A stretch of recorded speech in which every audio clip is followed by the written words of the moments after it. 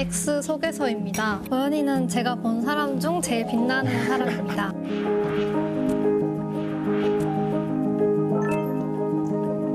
오빠가 여기에 왜 나온 건지 나는 궁금해.